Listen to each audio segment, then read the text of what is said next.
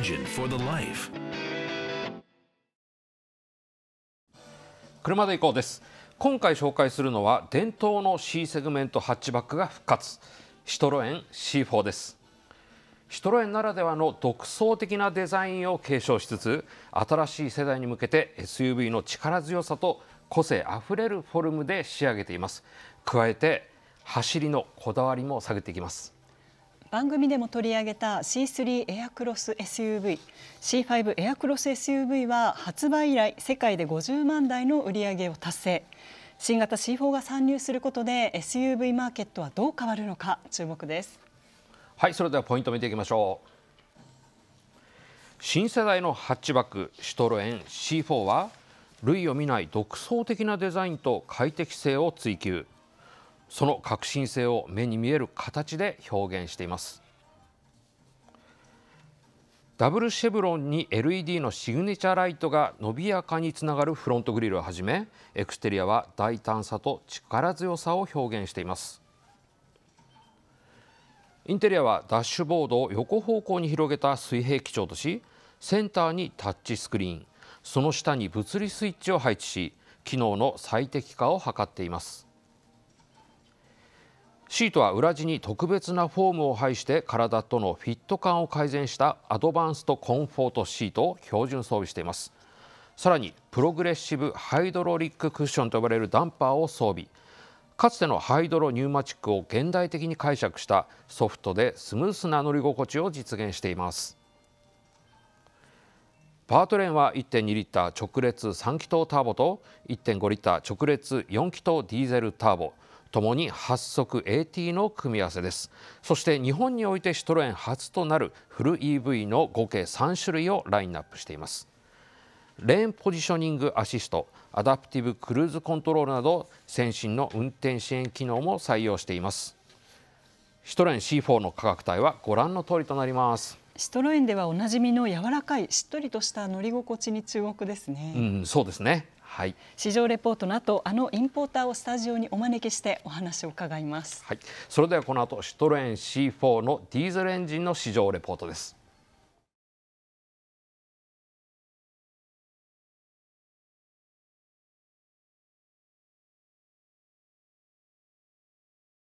伝統のデザインを受け継ぎ革新的に進化するシトロエン C4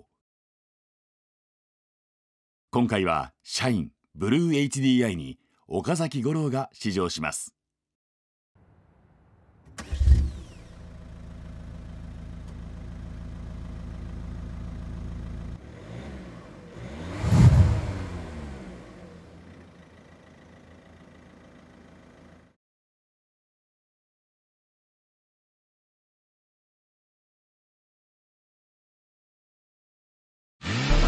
Engine for the life. さあ今日は新型シトロエン C4 に試乗しています。このシトロエン C4 というのは C セグメントに属する車です、えー、フォルクスワーゲンのゴルフのライバルではあるんだろうけれども実は僕はあまりこの競合しないんじゃないかなと、まあ、フランスの車シトロエンであるというブランドも含めて、えー、結構これはあの同じ PSA グループ内の、えー、プジョーにするかシトロエンにするか DS にするかみたいなところでの、えー、迷いというのを多くのこのユーザーっていうのは持つんじゃないかなとそんな風に思っています。インテリアなんですが新しくなった操作系非常にいいですね。僕が前からずっとこうプジョーシトロエン系に言ってきたエアコンの操作がちょっと面倒くさいよみたいなのがちゃんとエアコンの、えー操作ができる物理ボタンが表に出てきました。それからまあ一見これメーターパネルもあたりも、えー、シンプルなんですが実は、えー、これ間接照明なんかを使っていて周囲がぼわっと光っていてえー、結構これ雰囲気いいですね。高価な素材をおごってるわけではないんだけどもなんかこうワクワクさせるようないやこれセンスいいねと思わせるようなデザインに仕上がってるあたりもさすがです。今日乗っているのが社員ブルー HDI というグレード。えつまりこれディーゼルエンジンを搭載しています。1.5リッターの直4ディーゼルですね。で他には1.2リッターの直3ターボとかそれから、えー、EV 版も用意されているんですがまあこの1.5リッターのディーゼルがおそらく売れ線になると思います。でまあこのディーゼルのいいところはとにかく静かそして洗練されている。それでいてディーゼルらしい、えー、下の方からのトルクの厚みもあってなおかつこうして踏んでみるとはい、結構心地よいサウンドを聞かせながら元気に加速していくというまああのディーゼルエンジンっていうのとどうしてもこう荒っぽさみたいなものをイメージする方多いと思うんですけれどもこのエンジンに乗ったらいやもうやっぱり最新のディーゼルってここまで良くなったんだと、えー、そんな風に間違いなく思えるはずです。さあ一般道に降りてきました、まあ、こういうところを走ってると運転のしやすさっていうのがすごく前面に出てきますね。まず視界がとてもいいです、まあ、このピラー自体も角度とか位置とか端っこまで見えるようにしようという、まあ、この辺りは、まデザイナーの相当なこだわりが見て取れる部分です。いつもの荒れた路面に入ってきました。こういう大きな入力ですよねあとマンホールとかそれから大きなうねりとかに対するこのいなしとか収まりとかあとはしっとり感とかそういうこう感覚的な言葉がこう思わずどんどん出てくるようなそういう乗り心地なんですよね。まあ、本当にあのコンフォートにとことんこだわるシトロエンらしい、えー、非常に素晴らしい乗り心地ですね。さあバインディングに入ってきました。今スポーツモードを選択しました。スポーツモードにすると積極的に低いギアを選択するんで、うん、このエンジンが持っている元気さがより強く前面に出てきますね。いい感じに穏やかで、えー、まあフロントリアうまくバランスさせながらコーナーを綺麗に曲がっていく、えー、そういうフィーリングです。扱いやすいですね。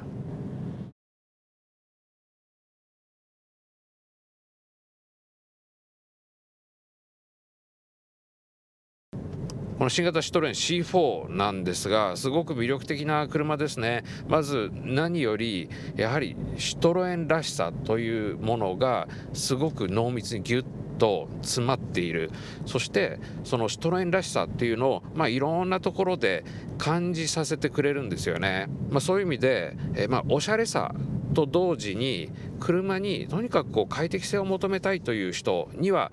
すごくお勧めできる1台だと思いました。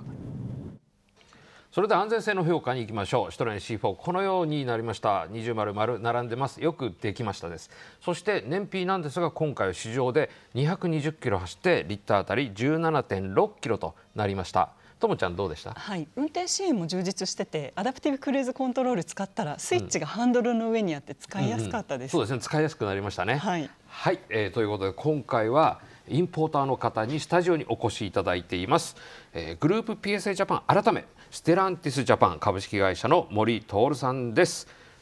よろしくお願いします。よろしくお願いいたします。あの森さんシトロエン C4 新型が出て、はい、昔からのシトロエンファンが大喜びしている様子を僕あちこちで見てるんですけれども、はい、これすごい面白い現象ですよね。いやありがたい限りですね。うん、やっぱりこの車、まあデザイン的にも往年のシトロエン GS を彷彿させるこうルーフラインがあったり、うん、まあ車としては C セグメントなので GS 含めた、えー、BX とか、エグザンティアとか、まあ、シトロエンマニア、ファンの方が好きなモデルの、直接の後継になりますからそうなんですよねあのこれ事務的に表現すると C セグメントのハッチバック5ドアハッチバックってなるんだけれども、はい、そうなるとフォルクスワーゲンゴルフっていうのが頭に浮かぶんだけれどもそれとは全く違う形になってるっていうのがすごい面白いですね。そうですね。あの、うん、まず車高が高いのは非常に目立つと思います。うん、大きなタイヤをつけてまして車高が全体に上がってます。はい、えー、なんですが、と横から見るとシルエットはそう GS だったりというところのスロープバックということで、はい、全体のシルエットが非常にこう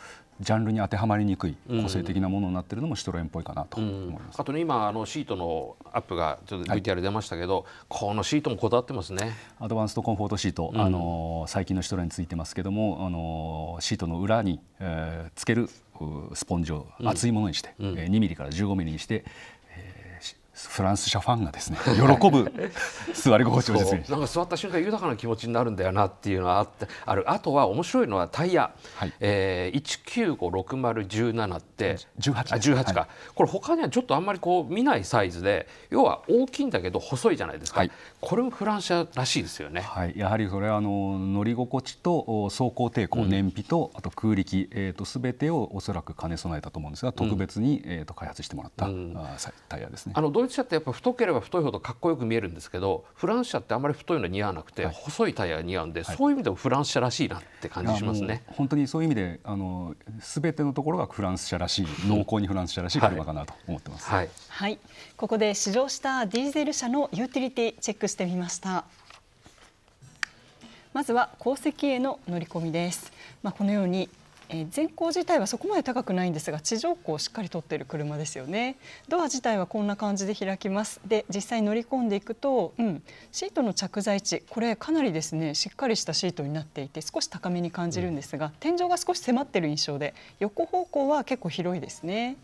で実際に座ってみると身長162センチの私で膝前すごく広いんですよ。げんこつ4つ入っちゃいました、うん、ただですねこの頭の上を見ていくと鉱石に関してはげんこつ1つ分という印象です。そして快適装備としてアームレストがついていてここに細長い小物入れがついていたりあとはドリンクホルダーが2つついていますそして足元にも快適装備がありましてここはエアコンの吹き出し口がついていたり USB のタイプ A が1つだけついていました。ラゲッジスペース。まあ、このバックドアはこのような形で手動で開くタイプです。開口部に注目してほしいんですがとても立体的に大きな開口部になってるんですよね、うん、こんな形。えそしてこの開口幅も広いし結構低いので荷物載せやすそうです奥行きも幅もしっかり取られていて容量も大きいさらに床下を開けるとここに洗車道具とかを隠しておけますし下の段にすると機内持ち込み用のスーツケース4つぐらいは余裕で入っちゃうぐらいのスペースがあります、うんでさらにトランクスルーで長尺物を後席に2人座った状態で詰めますし60対40の分割加藤式のシートになっています。まあこれかなり使いやすそうですよね。さすがフランス車ですね。まああとねやっぱさすがフランス車っていうところでいくとやっぱり乗り心地、はい、これなんでこんなに乗り心地がいいのって質問したいんですけど。はい、はい、これはまず一つはやはり PHC プログレッシブハイドロリッククッションですね。うん、あの伝説のハイドロの現代的解釈ということで、新しくシトロエンが開発したものです、うん、C5 エアクロス SUV で、まあ、五郎さんと藤友さんにも絶賛いただいた同じダンパーがついております、うん、おあの PHC って具体的にはどういうメカニズムになってるんですか、えー、これはですねもともとはラリーフィールドから培った技術なんですけども、うん、えー、とちょっと専門的になりますが、えー、ダンパーの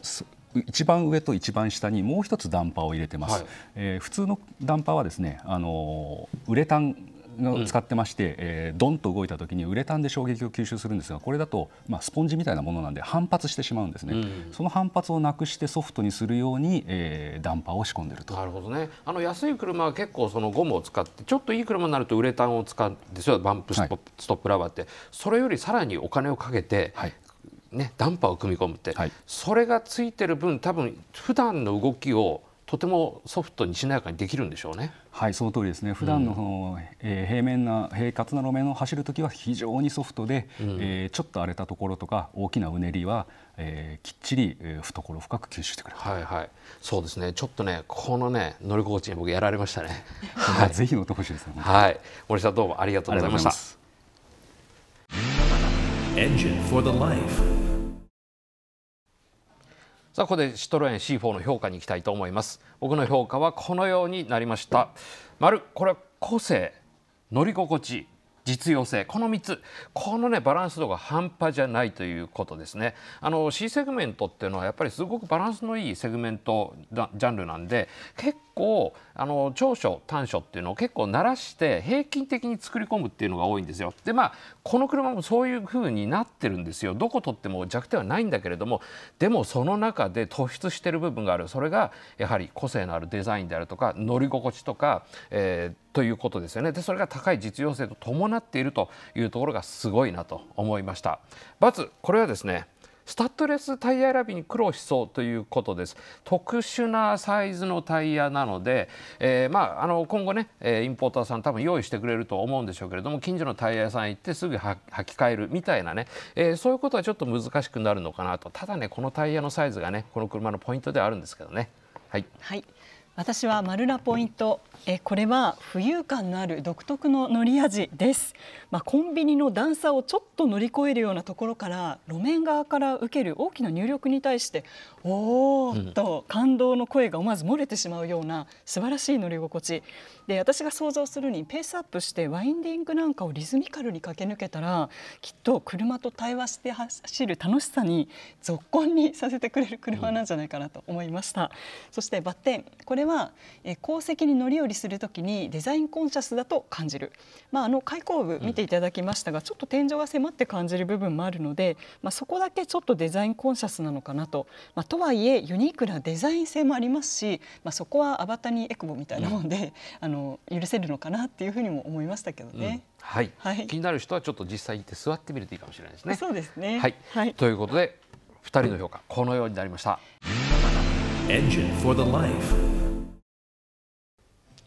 今回シトロエン C4 お届けしたんですけれどもともちゃん改めてどうでした？はいまあ、変化の多い時代の中で、うん、でもやっぱりストレインならではの魅力をしっかり取り入れながら、うん、魅力的で独創的な車作りましたよね。そうですね。あの僕 VTR の中でゴルフと迷う人あんまりいないんじゃないか。フランス車の中で迷うんじゃないの？ってことを言ったんだけれどもでも森さん実はねああいうふうと言いつつ僕はこうフランス車っていうのが今多くの人の選択肢に入ってきてるんじゃないかなと思うんですけれども、はい、実感ありますか？はいそれは本当に実感ありましてシトレンに関しても国内で7年連続純増と、おかげさまで大人気いただいてます、うん、今年はもしかしたら過去最高に届くんじゃないかなというレベルで、うん、やはり安全性だったり、燃費だったりというところも信頼性も含めて、うん、えー、全くあの他の国の車に引けを取らないので、はい、ぜひちょっと一回試していただきたいなそうなんですよね。だからもうこの C4 は昔ながらのシトロエンマニアがいいねっていうそういう濃いキャラを持っていながらでも普通の人が多分乗っても十分安心して満足して乗ってもらえるんだろうなと、はい、僕はあのそういうところにもシトロエンとかフランシャって来ていると思うんだけれども、はい、森さんはもうこのシトロエンとかねプジョーを扱い始めて大体34年経ってるわけじゃないですか、はい、どうでしょうか？今までの活動を振り返ってみて。そうですね。あの本当に、えーこの近年ですねやっぱフランス車がすごく皆さんに認められているという実感があります、うん、あのいろんな選択肢があっていろんな移動の自由があって、うん、えー、それでこそやっぱりあのマーケットっていうのは正しい姿なのかなと思いますので、うん、やはりちょっと食わず嫌いはなく一回ディーラーに行ってみて、ねはい、フランス車だからとかシトロエンってちょっと変わってんじゃないの？っていう前に一回乗ってみていただくと、うん、面白さや、まあ、乗り心地の良さとかがですね、うん、実感いただけるんじゃないかなと。そうですね。まあともちゃん僕もね結構最近フランス車何台も乗り継いできて、はい、まあそこら辺でいくと随分フランス車いたとかもねマニアックな部分は残ってるんだけどでもちゃんと商品になってきてるっていう感じてるよね。なんか自分の生活を彩るエッセンスになってくれそうで、うん、なんか頼もしい存在ですよね、確かに確かに。はい、森さんどうもありがとうございました。ありがとうございました。それではまた来週。